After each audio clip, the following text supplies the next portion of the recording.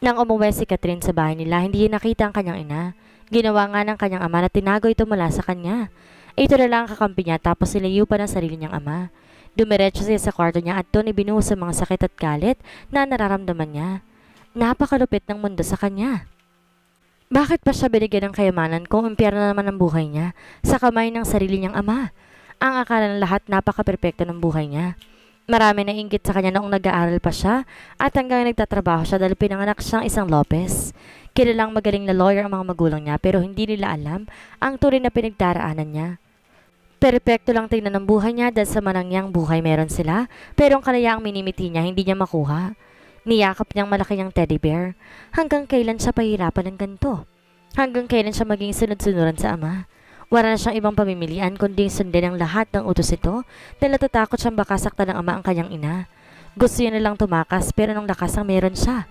Ayaw niya na lang napahirapan pa ang sitwasyon nilang mag-ina. Umaasa siyang sana'y maayos ng kalagayan nito. Pinagtuunan ni Catherine ang atensyon ng tungkol sa aksidenteng nangyari sa pamilya ni Amor. Desperada na siya. Wala na siyang pakialam kung masira niyang pagkatao ni Amor. Huwag lang ang kanyang inang mawala sa kanya. Hindi niya na alam ang magiging buhay niya kapag nawala pang kaisa-isang taong naniniwala at nagmamahal sa kanya. Kahit na madaling araw, pinag-aaralan pa rin ni Catherine ang tungkol dito. Napakunot na lang siya ng noo sa nalaman niya. Nagpaayos siya ng upo at naayos na niya ang eyeglasses niya para siguraduhin tamang nababasa yung impormasyon. Mga magulang ni Ashton ang nakabanggaan nila ng gabing yon.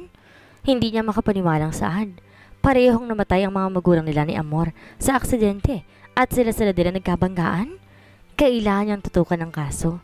Hindi na muna siya tatanggap ng mga kliyente dahil kapag nakahanap siya ng butas laban kay Amor, baka sakaling ibalik na ng kanyang ama ang ina sa pamamahay nila. Inumaga na si Catherine sa pagbabasa niya ng mga dokumento, pero tila hindi mo lang siya nakaramdam ng antok. Pagsapit ng alas 7 ng umaga, nagayak na siya para makapasok sa opisina. Kahit ilang taon ang lumipas, bubuksan niyang kaso tungkol sa mga magulang ni Ashton at Amor. Paniguradong pareho silang walang alam. Nang makarating si Catherine sa opisina, inutusan niya kagad ang sekretary niya na hanapin ang files tungkol sa aksidente ng dalawang mag-asawang Del Rio. Sige po, sagot naman kaagad ng sekretary niya. Napangisa na lang si Catherine. Hindi niya akalain na may malaking lihim pala mula sa nakaraan. Ilang taon na nakalipas pero hindi ito palalampasan ni Catherine. Ito na lang ang pag-asa niya para bumalik ang tiwala sa kanya ng kanyang ama at ibalik ang kanyang ina. Sino man na nasa mali ng aksidenteng nangyari, babalik na rin ni Catherine ang lahat para magbukang suspect ang mga magulang ni Amor. Alam ni Catherine na kainaan ni Ashton ang aksidenteng nangyari sa kanila ng gabing yun at lalo siya magagalit kapag nalaman niyang may sangkot sa aksidente nila.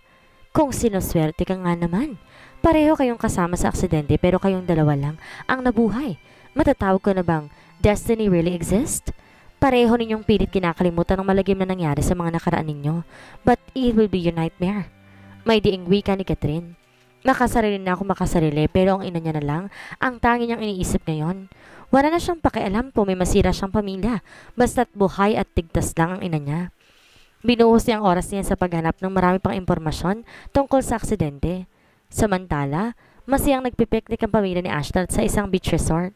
Nagkayaan sila dahil masyado ng mainit ang panahon sa bansa. Nakaupo sa beach, share si Amor, habang pinapanood ang anak na walang sawang nakikipaglaro.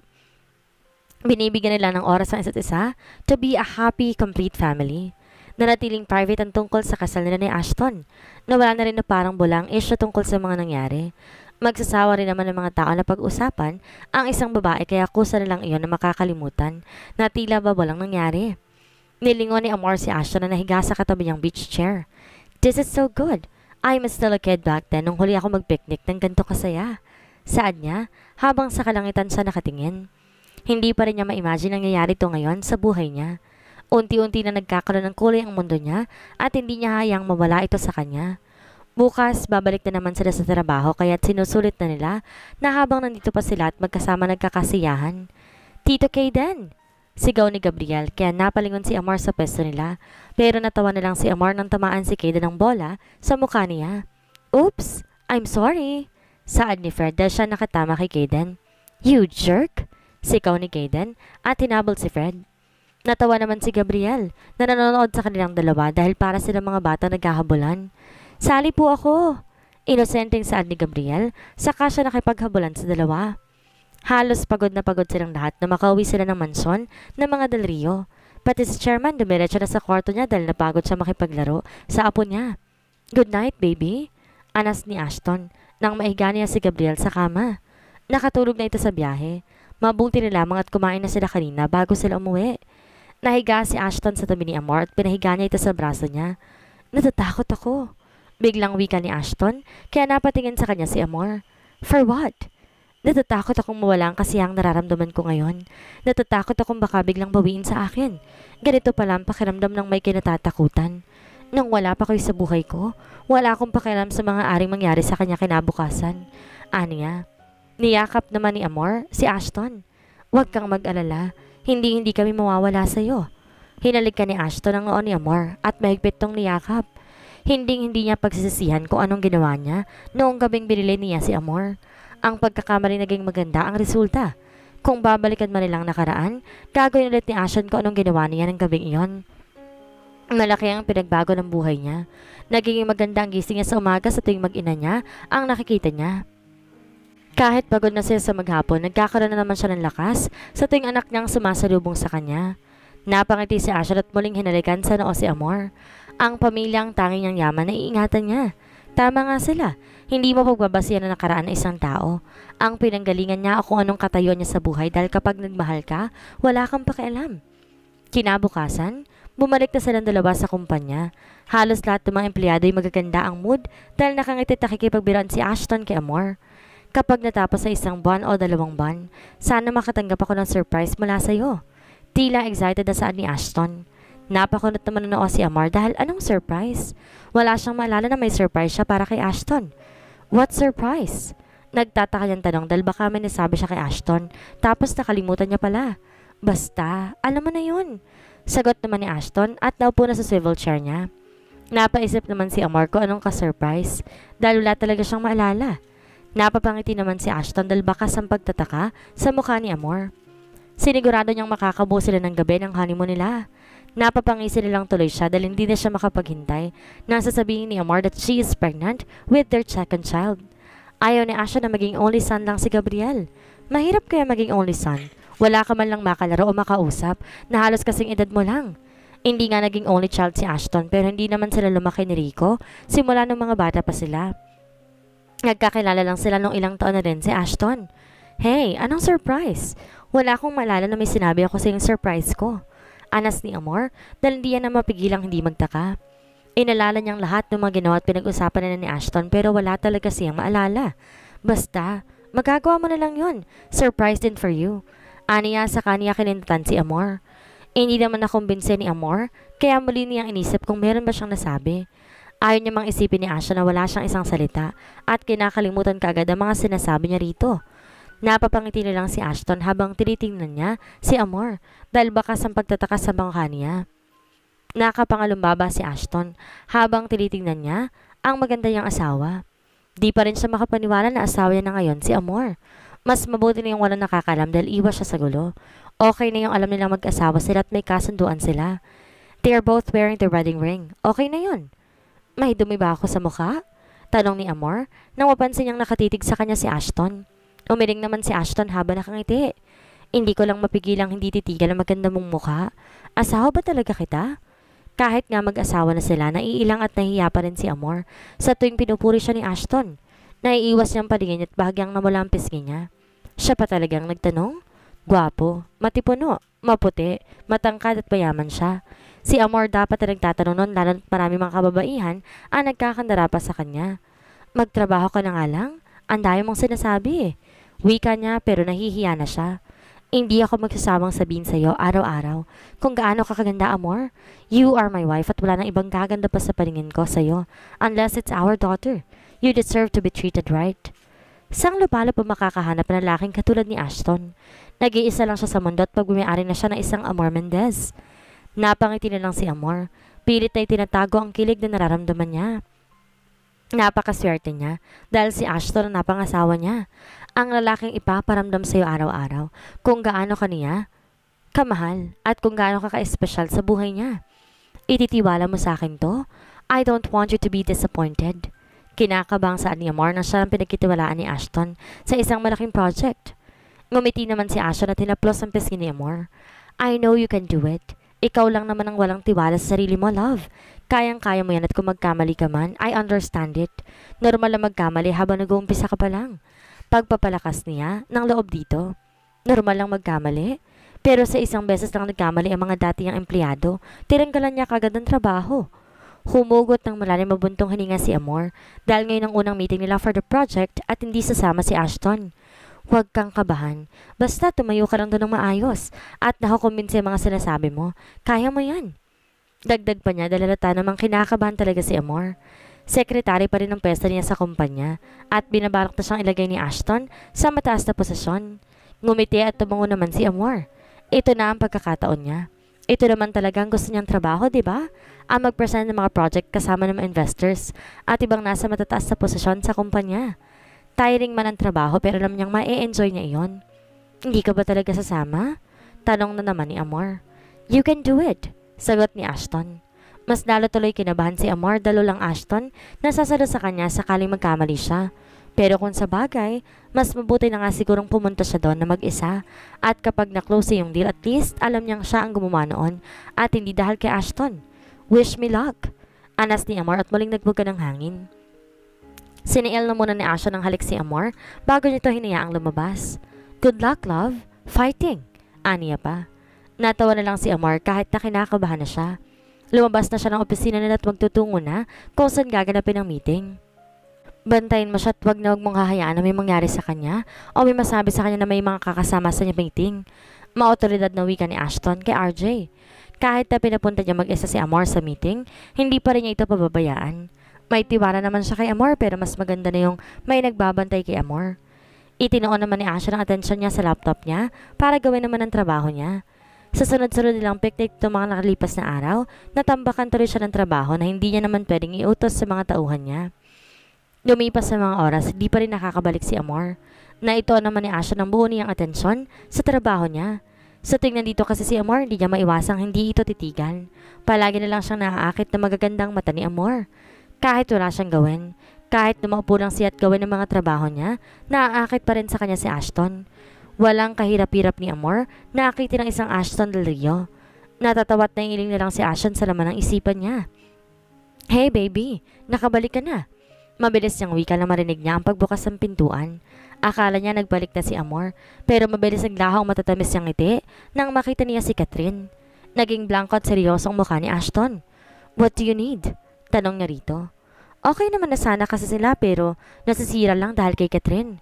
Wala namang imik na binaba ni Catherine ang isang folder. Blanco yung tinignan ni Ashton.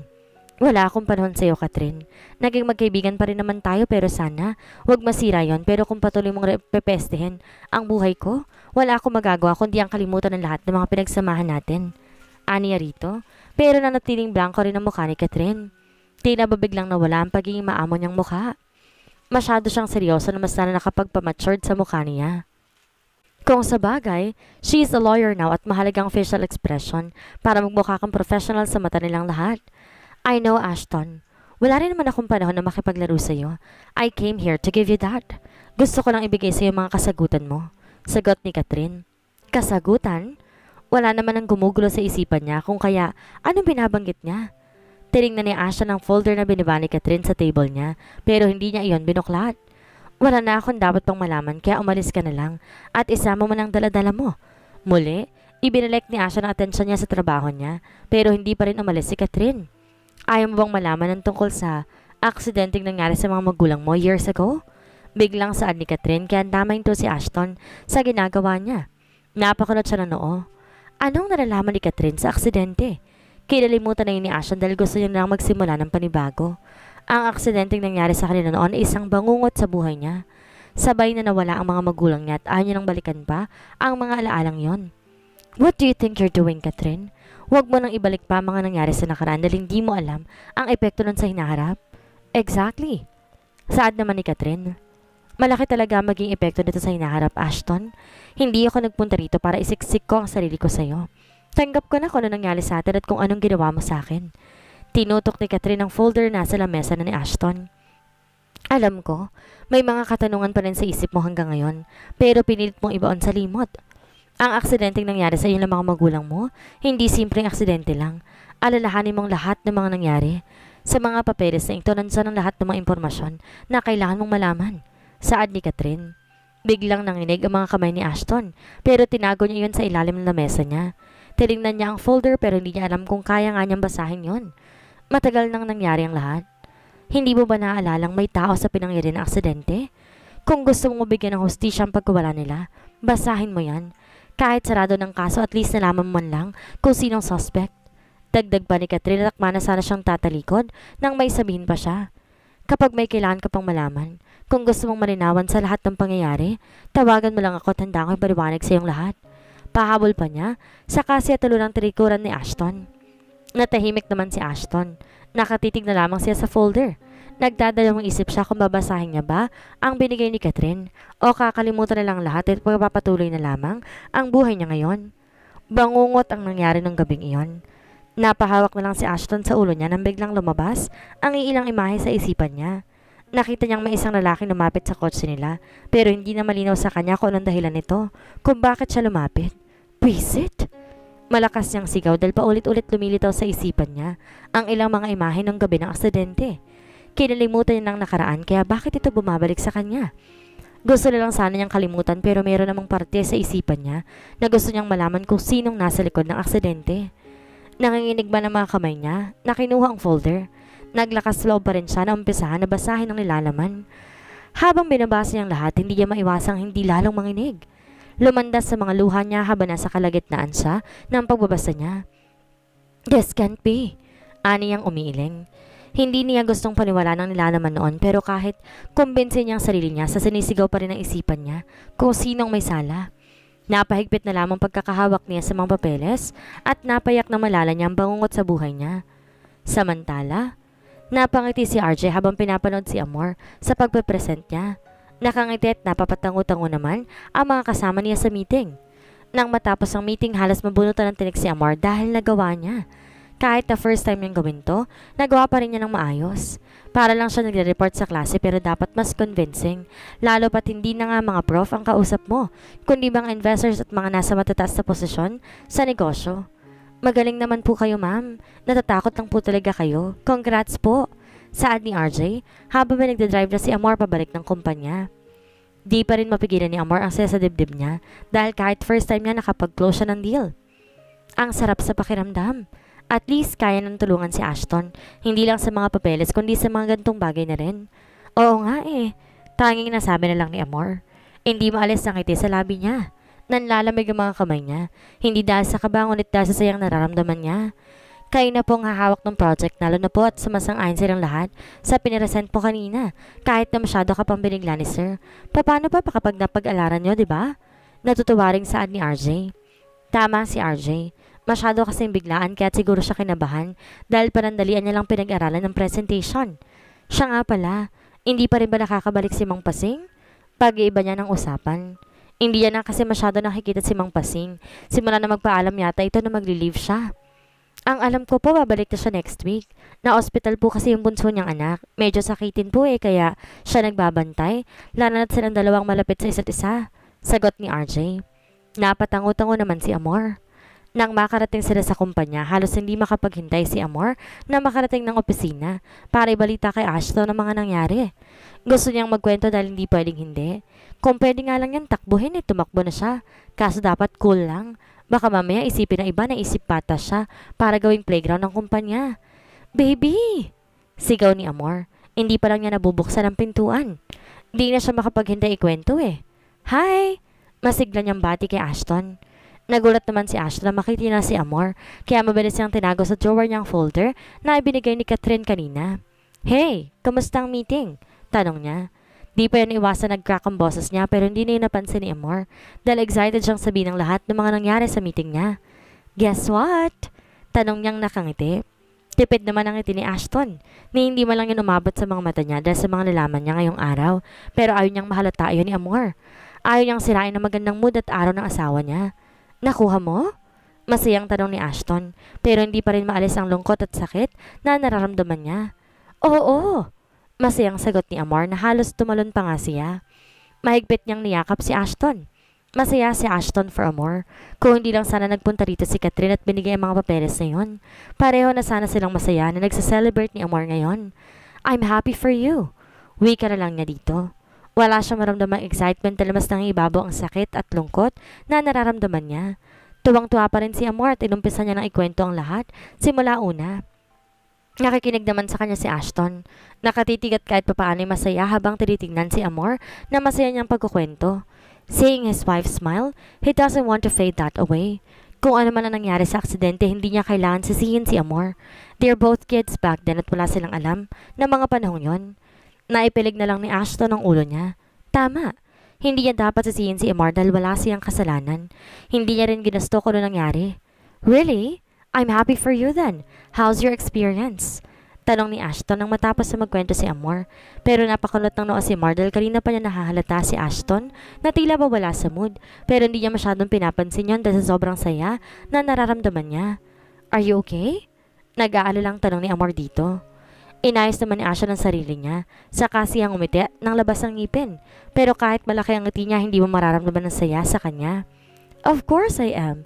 Sino bang hindi magiging masaya? Let's celebrate it. Where do you want to celebrate it? Gusto mo ba dun sa Korean food na favorite mo or sa Spanish restaurant? Tell me my treat. Masigla niyang saad kaya na wala naman kaagad ang pag-aalala ni Amor at muling naging masaya ang mukha niya. Napapikit na lang si Ashton. Hindi bang wala sa isipan niya mga nalaman niya? Ayon sa mga impormasyon na binigay ni Catherine, it is Amar's father's fault kung bakit sila na aksidente. Nasa tamang linyang sasakyan ni na Ashley at base sa ebidensyang ibinigay ni Catherine sa kanya, sinadya silang bangay na sasakyan ni na Amor noon. Nagpagewang-gewang ang sasakyan ni na Amor dahil nakainom ang kanyang ama habang nasa biyahe sila at para takpan ang kasalanan ng ginawa, plinano niyang pasabugin ang sasakyan ni na Ashton pero kasama siyang namatay sa pagsabog. Pilit iniisip ni Ashton kung paano siya nakaalis sa sasakyan bago nangyari ang pagsabog pero masyado nung malabo ang alaala niyang lahat. Ngayon, Malinaw na sa kanya kung sinong taong nakita niya ng gabing yon. Nakita niya kung sino ang lumapit sa kanila. Walang iba, kundi ang ama ni Amor. Pilit ang ngiti ni Ashton habang kumakain sa ni Amor sa isang restaurant. Mahal na mahal ni Ashton ang mga magulang niya at hanggang ngayon kahinaan niya ang nangyaring aksidente sa kanila noon. Kasama si Amor sa aksidente pero inalas ni Catherine ang tungkol sa impormasyon na yon. Ginagamit ni Catherine ang emosyon ni Ashton para paniwalaan ito sa lahat. Totoo naman na kotse ng ama ni Amor ang bumangga sa kotse yung sinasakyan nila Ashton. Pero may mga ilang detalye na pinalitan ni Catherine katulad ng pag-alis niya sa aksidente ni Amor. What if gawin na kitang vice president? Biglang saad ni Ashton sa pagitan ng pagkain nila. Halos mabulunan pa nga si Amor dahil sa sinabi ni Ashton. Masyadong mataas na posisyon na sinasabi ni Ashton at sekretary pa lang siya. Are you serious? Hindi makapaniwalang tanong ni Amor. Malaking posisyon ang hahawakan niya kung sakali. Pumangalumbaba naman si Ashton habang nakangiti na nakatayan kay Amor na hindi pa rin makapaniwala. Sa tingin mo ba nagbibiro ako? Hindi naman kita kagad ililipat. Ayoko namang isipin nilang lahat na nakuha mo lang posisyon mo because of me. Gusto ko makita nilang deserve mo yon. Napalanok si Amor. Never in her life na pumasok sa isip niya na maging isang vice president ng kumpanya. Pero paano naman yung current vice president? Tanong pa ni Amor. Ayaw naman na magmukha siyang mga agaw sa posisyon. Blanco sa ngayon dahil nahuli siyang gumagamit ng pera ng kumpanya for his personal use. Kilala mo naman ako. Ayaw ko makasama mga taong hihilahin ako pababa. Mas lalo pang kinabahan si Amor. Is she ready for this? Tanong niya sa sarili niya. Napaayos siya ng upo. Di pa naman ibibigay sa kanyang posisyon. Kailan pa muna niya yung paghirapan, tsaka hindi pa naman siya sigurado kung mapupunta nga sa kanyang posisyon. Susubukan ko, sagot ni Amor. Sa ngayon, aalisin na kita bilang sekretary ko at ililipat kita sa ibang posisyon like supervisor. Kailangan mapaunti-unti ang pag-angat mo, okay? Bibigyan na rin kita ng sarili mong opisina. Nakangiti niyang offer kay Amor. Hindi pa rin makapaniwala si Amor sa nangyayari sa kanya ngayon. Lubos-lubos na yung silang nararamdaman niya habang si Ashton nasasaktan sa loob niya. Pinipilit niyang sarili niyang maging okay siya. Pinipilit niya na lang kalimutan at wag pansinin ang nalaman niya dahil alam niya Ikasisira lamang iyan ang relasyon ni Amor. Pero kahit anong pilit niyang iwas, pakiramdam niya hinahunting na siya na nakaraan niya. Na makauwi sila dalawa, tila ba pagod na pagod si Ashton. Matapos silang kumain ng hapunan, dumiretso na si Ashton sa higaan hanggang sa makatulog siya. Napapansin talaga ni Amor na may kakaiba kay Ashton ngayon. Dati-dati naman na unang matulog ang anak nila kesa sa kanya. Pero ngayon ang aga-aga pa lang tulog na si Ashton. May problema ba siya? Hindi mapigil ang tanong ni Amor sa sarili niya. Inayos na ng kumot Ashton sa kanya hinaplos ang noon nito. Napabuntong hininga si Amor. Baka pagod lang. Iyon lang ang pumasok sa isipan niya. Nahiga na rin siya sa tabi ni Ashton at tutulog na lang. Kinabukasan sabay silang pumasok ng trabaho pero napakatahimik ni Ashton. Hindi naman ang inabala pa ni Amor dahil baka may iniisip lamang tungkol sa trabaho si Ashton. Gaya nga na sinabi ni Ashton na lipat ng ibang opisina si Amor kaya hindi na sila magkasama sa isang opisina. Gustong malaman ni Asha ng lahat tungkol sa aksidente years ago na. Ayaw niyang ipaalam kay Amor ang tungkol dito dahil alam niya, masasaktan lang si Amor at ayaw niyang mangyari yon. Hindi na magandang nangyari sa nakaraan ni Amor at ayaw ni Ashton na idamay pa si Amor. Sigurado ka ba? Tanong pa ni Ashton sa kausap niya sa cellphone niya. Yes, Mr. Del Rio. Sigurado po kung ang nakabangga na sila sa kanya noon ay ang mag-asawang Mendez. Sagot ng isang attorney ni Ashton. Nag-background check pa rin siya sa mga binigay ni Catherine na impormasyon sa kanya. Halos bagsak ang balikat ni Asha nang marinig niya ang sagot ng attorney. Isang buntong hininga ang pinakawalan niya. Kumikirot na naman ang dibdib niya. Kinalimutan niyang aksidente dahil sa takot niyang patuloy siyang huntingin ito. Bata pa siya noon at sarado ng kaso. Wala pa siyang alam sa mga nangyayari. Napasabunot na lang si Ashton sa buhok niya. Paano siya magiging tahimik at payapa kung patuloy siyang hinahabol na nakaraan? Bakit mapilit pa rin siyang hinahanap at hinahabol nito? Akala niya maayos ng lahat. Akala niya maging tahimik na sila pero nagkakamali pala siya. Binangga ni Mr. Mendez ang sila sa kanila nung gabing iyon. Kitang-kita yan sa pesta ng mga sasakyan nila noong nagkabanggaan. Sasakyan ni Mr. Mendez ang nasa wrong lane. Kung nag-ingat lang sana ito sa pagdadrive, hindi sana namatay ang magulang niya. Baka sakali nagkaroon pa sila ng magandang relasyon ni Rico. Matagal lang naghahanap si Asha ng taong masisisi niya.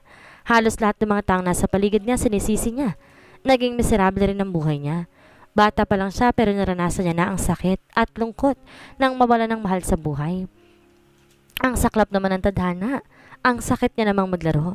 Bakit naman sa lahat ng taong pwede makabanggaan nila ng gabing iyon? Bakit ang ama pa ni Amor? Bakit ang mga magulang pa ng asawa niya? Why is this happening? Halos nahihirapang tanong ni Ashton habang nakatingala siya. Muli niyang naalala ang gabing yon dahil lang sa kasa na ito, dahil lang sa mga nalaman niya. Kahit paanong gawin niya, hindi niya mapigilang hindi masaktan. Lalo na ngayong nalaman niyang may magulang ni Amor, ang dahilan kung bakit namatay ang mga magulang niya. Puisit? Ines niyang sigaw. Dinouble check niya tungkol sa aksidente pero hindi man lang niya nalaman na kasama rin sa aksidente si Amor. Sumasakit na lang ulo ni Ashon sa kakapilit niya sa sarili niya na alalahanin ng lahat. Maaring nagbibinita na siya ng panahong yon pero matagal niya nang ibinaon sa limot ang lahat kaya hindi na malinaw sa kanya ang mga nangyari. Ang tayong alam na lang niya ay nagkaroon sila ng aksidente. Naging abala si Amar sa bago niyang trabaho. Mas mabuti na siguro hindi sila nagsasama sa isang opisina ngayon dahil sa mga nangyayari. Gusto ni Ashton na ayusin na muna ang sarili niya. Ayaw niyang humarap kay Amar na bakas ang lalim ng iniisip niya. Itinago niyang folder tungkol sa aksidente. Tinago niya lang kay Amor. Mas mabuti ng problemahin itong mag-isa dahil kaya namang tiisin. Hi, love! Masiglang bati ni Amor na makapasok siya sa opisina ni Ashton. May dala-dala siya mga pagkain sa kanya yung binaba sa center table. Mas gusto ko pa rin na magsama tayong dalawa sa isang opisina. Hindi kasi kita nakikita eh. Halika't kumain na tayong dalawa. Kanina pa kasi kita hinahintay sa office ko kaso di ka naman na nagpupunta kaya ako na lang nagpunta rito. Wika ni Amor, sa kanya inayos ang table na daladala niyang pagkain. Napapakamot na lang sa batok si Ashton dahil hindi niya namalayan ng oras. Masyadong okupado ang isip niya dahil hindi niya naalala na pupunta nga pala si Amor. Sabay pa rin kasi silang nakain ng tanghalian at si Ashton ang pumupunta sa office ni Amor. Ayos ka lang ba? Kung marami kang ginagawa, pwede kitang tulungan. Dito na muna ako dahil wala pa ako masyadong ginagawa eh. Hindi na. Mabilis ang sagot ni Ashton. Natigilan pa si Amar dahil napatas ang boses ni Ashton. I mean, kaya ko naman. You don't need to help me. Mag-focus ka na lang sa mga gagawin mo. Kung wala ka pang gagawin ngayon, advance mo na yung gagawin mo bukas. Bawi ka agad ni Ashton. Di naman sa ayaw niyang manatili si Amar sa office niya. Gusto na lang niya munang mapag-isa. Paano siya harap sa asawa niya kung ganito siya? Hindi niya pa naayos ang sarili niya kahit napilitin niya ang sarili niyang maging maayos sa harap ng asawa niya. Hindi niya pa rin yun maitatago. Are you okay? Napapansin ko kasi parang ang tamlay mo nitong mga nakarang araw. May problema ba? Hindi na mapigilang tanong ni Amor. Hinayaan niya kasi muna si Ashton at hinintay lang itong magsabi pero hanggang ngayon, nanatili siyang tahimik kaya mas lalo nag-alala si Amor. Nilapitan ni Ashton si Amor at niyakap ito habang nakaupo sila sa sofa. Ashton really loves Amor. Nasasaktan lang siya ngayon at di niya gustong sabihin pa kay Amor ang lahat. Tama na yung siya na lang ang masaktan. You okay? Muling tanong ni Amor nang hindi sumagot si Ashton.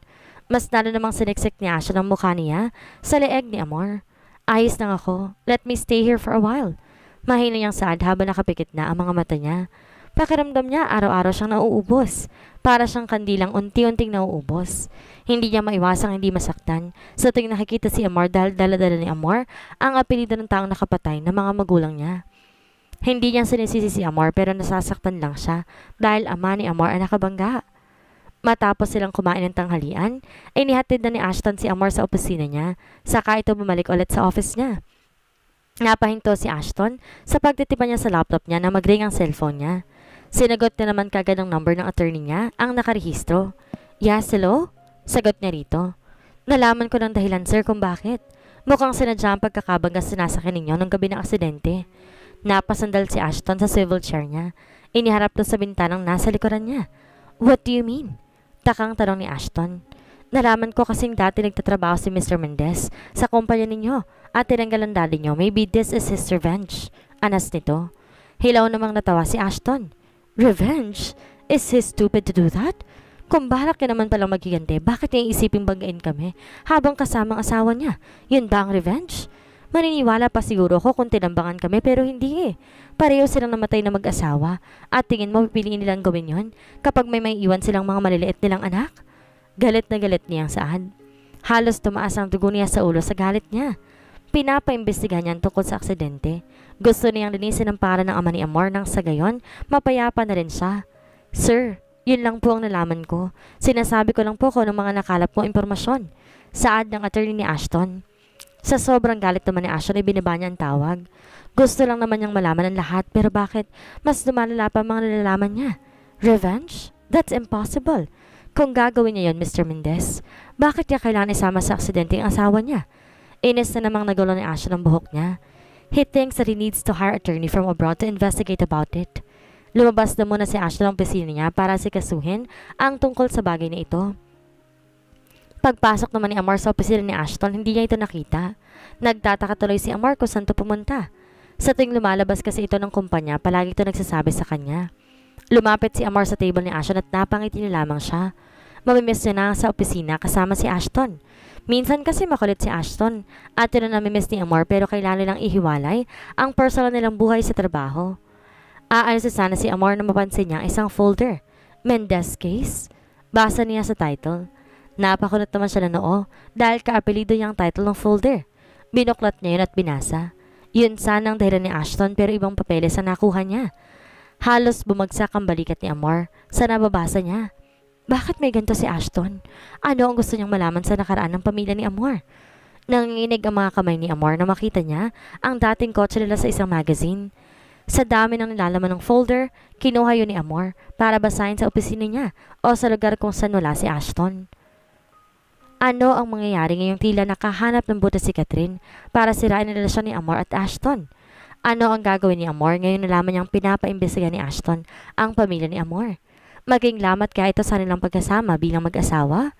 Yan ang ating aalamin sa susunod nating kabanata.